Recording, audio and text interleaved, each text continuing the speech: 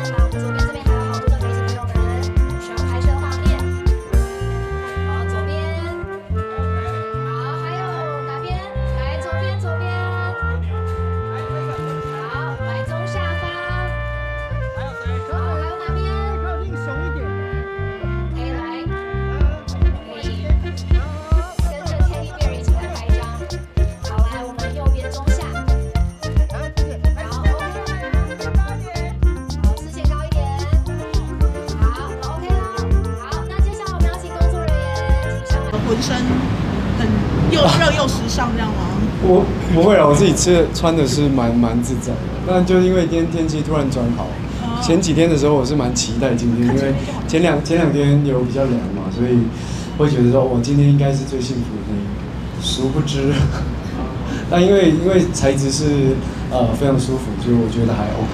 那你也最近也是非常火热啊，就是金中金嘛都双入围的部分，对，要不要有没有什么想要？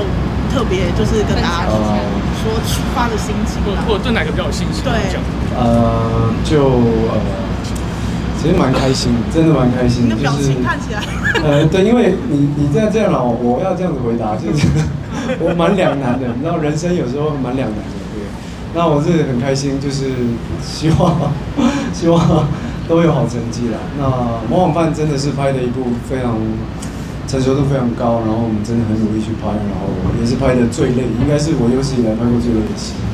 那希望在这么长的拍摄期间内，可以维持一定好的水准给观众，那能够入围很高兴。那《复读青年》是因为十二月一号大家才比较有机会看到，那马上金马结束后就马上上映。那我当然也希望可以透过金马的号召，让大家关注到这一部马来西亚的片子，因为毕竟。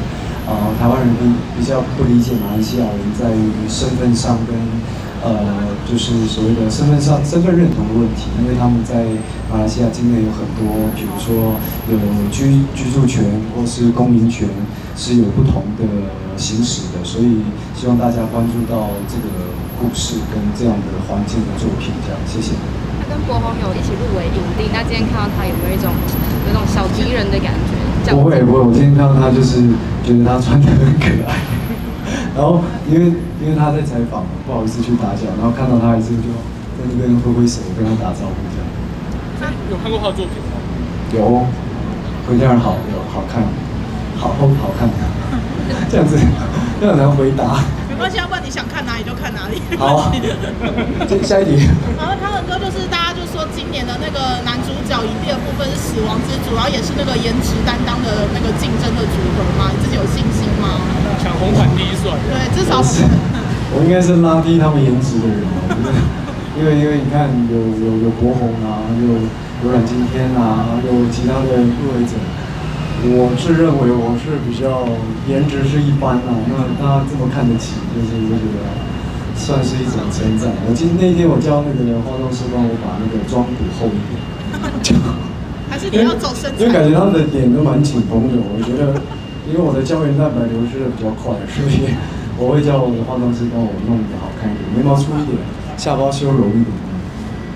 见那个脸书上好像有有生之年被说是不小心爆雷，然后雨薇有说建议先取消关注你。这样都不会被暴雷。我没有爆雷啊，那个是我其实是看到了电视台有先放的预告我才写。对啊，所以可能大家对就不算爆雷吧，但没关系，黑黑锅我背可以。那也因为有，我觉得有讨论，就是有有有新闻，就是有讨论，那对有生之年剧组也是一个不错的反馈嘛，因为。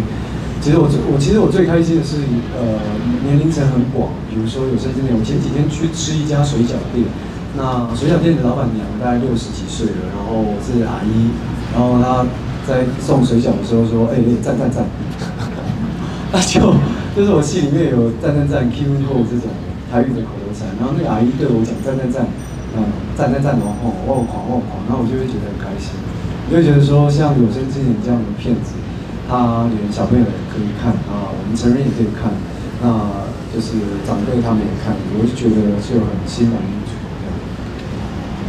好哦，谢谢大家，谢谢，再次感谢我们时尚大来宾。